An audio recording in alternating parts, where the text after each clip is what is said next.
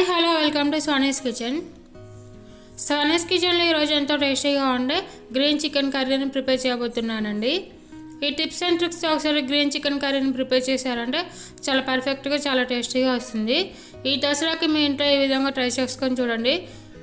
చాలా బాగుంటుంది. ఈ కర్రీ రైస్లోకి చపాతీలోకి పూరిలోకి తింటే చాలా బాగుంటుందండి.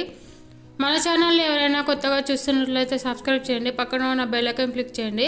అప్పుడే మన ఛానల్లో ఏ వీడియో పెట్టినా కానీ మీకు నోటిఫికేషన్ లాగా వస్తుంది. ఇప్పుడు ఈ వీడియోలో గ్రీన్ చికెన్ కర్రీని ఏ విధంగా ప్రిపేర్ చేసుకోవాలో చూద్దాం.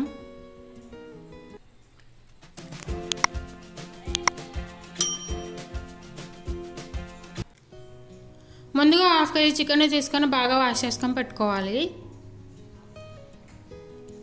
తర్వాత ఒక ప్యాన్ తీసుకుని అందులో టూ టేబుల్ స్పూన్స్ ఆయిల్ వేసుకోవాలి. ఆయిల్ వేయడాక అందులో మనం ముందుగానే కట్ చేసి పెట్టుకున్న ఆనియన్స్ని వేసుకొని బాగా ఫ్రై అవనివ్వాలి. ఈ ఆనియన్స్ అనేవి మనకు గోల్డెన్ రెడ్డిష్ కలర్లోకి వచ్చేంత వరకు బాగా ఫ్రై అవనివ్వాలి. ఇప్పుడు ఇందులో హాఫ్ టేబుల్ స్పూన్ జీలకర్ర వేసుకోవాలి. హాఫ్ టేబుల్ స్పూన్ పసుపు వేసుకొని ఒకసారి బాగా కలుపుకుంటూ బాగా ఫ్రై చేసుకుంటూ ఉండాలి.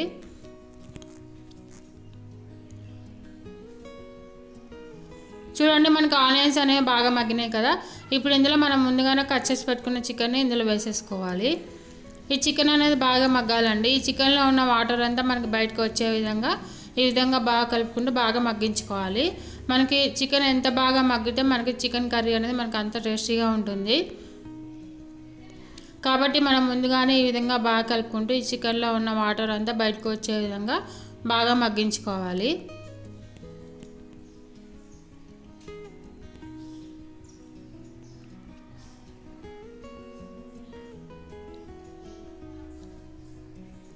తర్వాత ఒక కట్ట కొత్తిమీర ఒక కట్ట పుదీనా కారానికి సరిపడ పచ్చిమిర్చిని మనం గ్రైండ్ చేసుకోవాలి. చూడండి మనకి చికెన్ అనేది మగ్గింది కదా ఇందులో ఉన్న వాటర్ కూడా బయటకు వచ్చేసింది. ఈ విధంగా బాగా మగ్గాలండి. అప్పుడే మనకి కర్రీ అనేది ఇంకా చాలా టేస్టీగా ఉంటుంది. ఇప్పుడు ఇందులో one and half tablespoon అల్లం వెల్లుల్లి పేస్ట్ వేసుకొని ఒకసారి బాగా కలుపుకుంటూ ఉండాలి. అల్లం వెల్లుల్లి పేస్ట్ అనేది పచ్చి వాసన పోయేంత వరకు బాగా కలుపుకుంటూ ఉండాలి.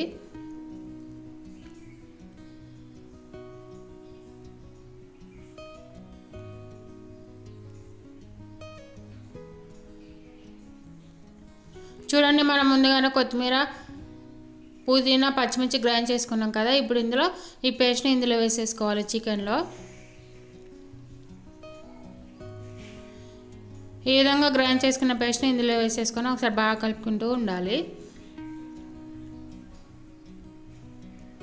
ఇందులో మనం ఇంకా కారం ఏమీ వేయనవసరం లేదండి. మనం పచ్చిమిర్చి వేసాం కదా అదే సరిపోతుంది. మనకు కారానికి సరిపడా పచ్చిమిర్చిని వేసేసుకోవాలి. చూడండి ఇది బాగా ఉడికిపోతుంది కదా. ఇదే టైంలో మనకి టేస్ట్ సరిపడా సాల్ట్ వేసుకోవాలి. చూడండి నేను కల్లుప్పు వేసాను కదా. మనం కల్లుప్పు వేయడం వల్ల మనకి కర్రీ అనేది ఇంకా ఎక్కువ టేస్ట్ అనేది వస్తుంది. ఈ విధంగా చికెన్ని బాగా కలుపుకుంటూ బాగా ఉడికించుకోవాలండి. స్టవ్ అనేది మీడియం ఫ్లేమ్లో పెట్టుకోవాలి. అప్పుడే మనకి చికెన్ అనేది చాలా పర్ఫెక్ట్గా ఉడుకుతుంది.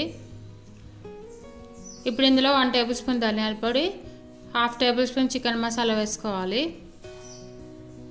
ఈ విధంగా చికెన్ మసాలా వేసుకొని ఒకసారి బాగా కలుపుకోవాలండి కర్రీని మొత్తాన్ని.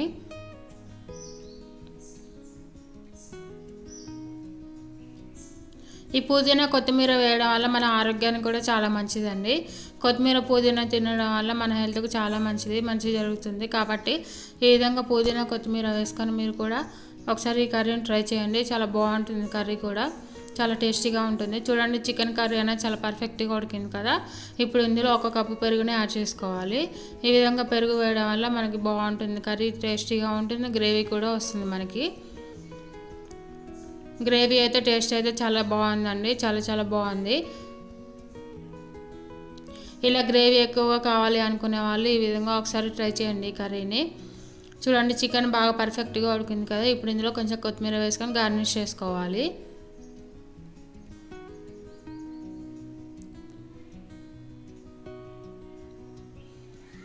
అంతే అండి ఎంతో టేస్టీగా ఉండే చికెన్ కర్రీ రెడీ. ఈ చికెన్ కర్రీ మనకి రైస్లోకి చపాతీలోకి పూరీలోకి దోశలోకి తింటే చాలా టేస్టీగా ఉంటుంది.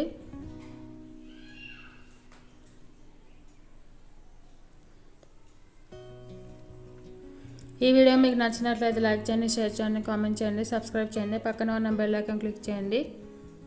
ఈ విధంగా ఒక ప్లేట్లో సర్వ్ చేసుకుంటే అంతే ఎంతో టేస్టీగా ఉండే చికెన్ కర్రీ రెడీ. ఈ చికెన్ కర్రీ మనకి గారెలోకి రైస్లోకి తింటే కూడా చాలా బాగుంటుంది. ఈ దసరాకి మీరు కూడా ఈ కర్రీని ట్రై చేసి మీకు ఏ విధంగా వచ్చిందో నా కామెంట్ సెక్షన్లో షేర్ చేయండి.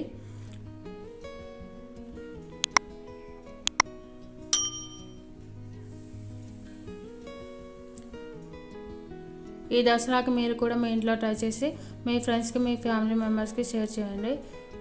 మరిన్ని వీడియోస్ కోసం సోనిస్ కిచెన్ కామెంట్ చేయండి. Thank you thank for watching